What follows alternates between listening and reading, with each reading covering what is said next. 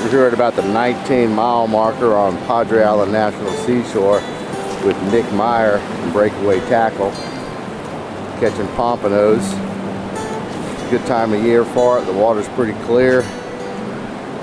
The bait we use is a little piece of fish bite fishing strips with a small piece of uh, dead shrimp on it. Using a double drop rig today and first one out we caught two with one one cast.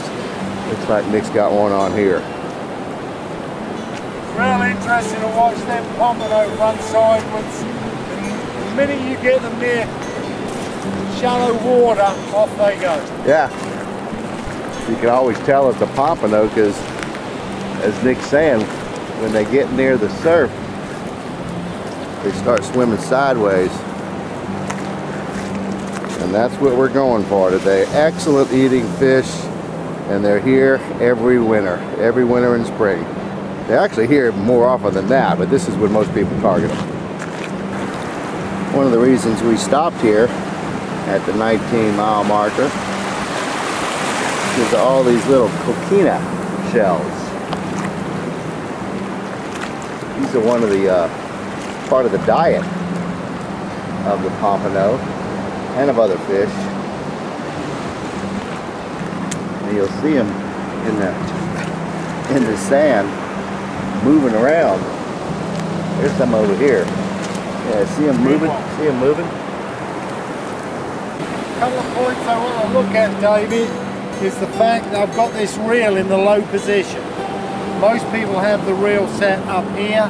This is an adjustable reel seat which we use which we can move in the up position. So if I wanted a cast like that, I could. But because I've got a shoulder injury, we use the back cast in the low position reel. And now I can cast using my legs rather than my upper shoulders. Let her rip.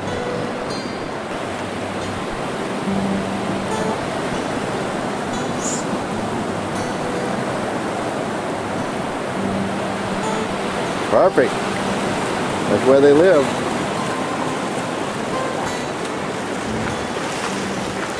Another thing, when you put your rod in the sand spike, don't over tighten the line because a lot of people now cast out tighten up and all you do is pull the sinker out of the sand and it rolls down the beach. So leave it to set. When you're actually holding the pompano, grab him deep in the gills. There's a couple of points you got to watch out for. You've got some really nasty spines here that will cut you and you've got five of them on top here and they're very sharp.